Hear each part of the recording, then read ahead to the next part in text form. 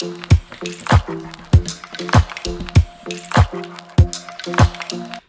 I'm Pascal from Orangepixel, and um, we'll get back to the controller in a bit.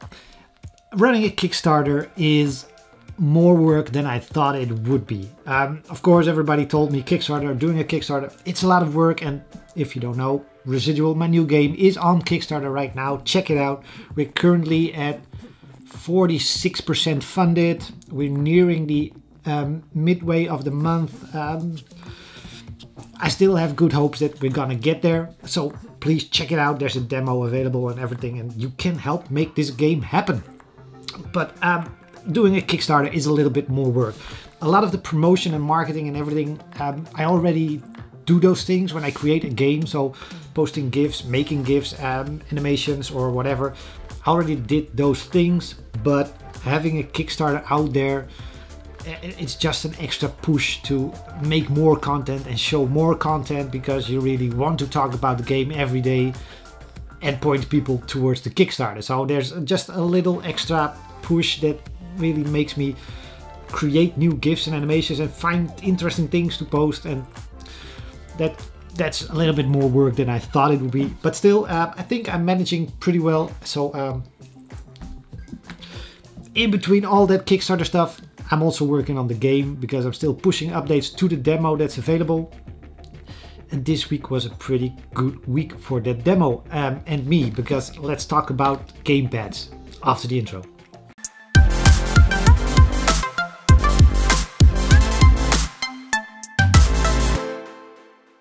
Alright, so if you've played any of my games in the past on any mobile device, you know that they are best played with a hardware controller or gamepad connected to your phone, tablet, or whatever.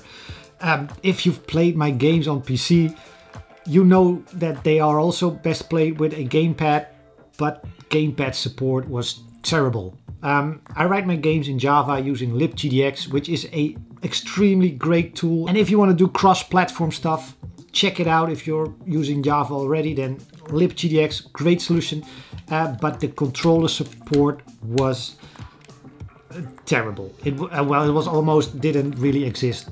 Some controllers would work on some operating systems, so you could have an Xbox controller on Windows 9 and it would work, but that same controller on Windows 10 might not work, or that same controller on Linux would work, but on macOS it wouldn't.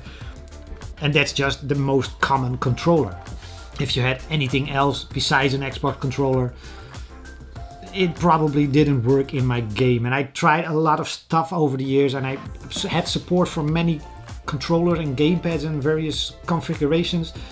But I always had to say, well, controller support depends and I can't really promise it to you. Until this week, um, I can now promise gamepad support. It's in the current demo, you can download it for residual. I already had feedback from players and their gamepad is working because there is a great little tool called SDL to libgdx. I'll info on the screen. And this is a great little framework and SDL framework is uh, one of the better gamepad supporting frameworks out there or had a very good gamepad support framework and this basically hooks into that and all that knowledge and database on which controller does what and we can now vibrate the controller we can support all the Xbox types and PlayStation I saw 8-bit do controller thingies in there. Almost any controller you throw at it and works in other games should now also work in my game. And that's just residual. Having this up and running in residual means um, I will be going into all my previous games on PC and update them with this new code. Luckily it's fairly easy and not a lot of work so I'm very happy about it because I'm gonna update Space Grunts, Meganoid, Gunslugs games, and Heroes of Loot games. They're all gonna have this great new controller support, which should hopefully make it a lot easier for people to get my games on PC and play them. Because I know it has been a barrier and a hurdle not having great gamepad support for my type of games. They are built and designed for gamepad support, so they should have had it. It was just technically never possible until somebody else did all the work and figured out how to do it. And uh, so our gamepad support in Residual is now pretty much done.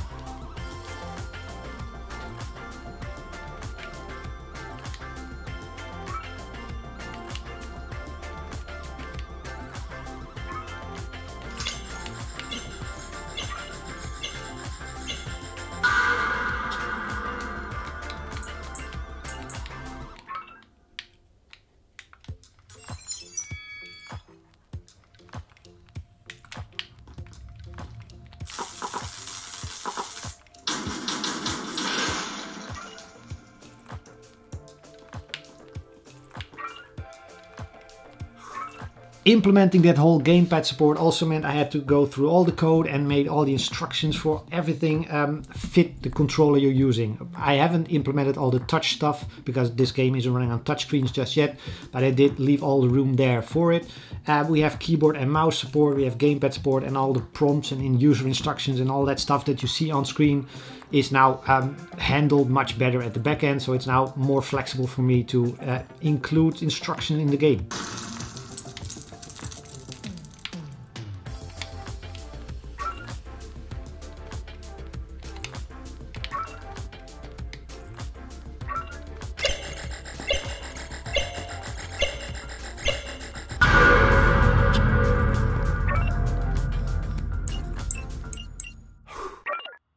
Final thing I did this week was add a visor and it will allow you to scan the planet and show you the nearby resources and information on the planet. And it's it's gonna need a lot of work because right now it's very cool to see this little table of information about the planet. But once you know the planet's information you don't need to see it every time you open the visor. So I can probably come up with more interesting things there like there's an anomaly nearby or there are creatures around you and what kind of creatures things like that. But the most important part was making sure this visor works and, and hooks up. And it's not going to be active in the game from the start. You actually have to uh, fix your spaceship first or a little part of the spaceship which is also all the stuff I implemented. That's kind of game development especially on games like this. You have one idea but then it spawns a bunch of other ideas that all need to be built into the game before that one idea you had can be built into the game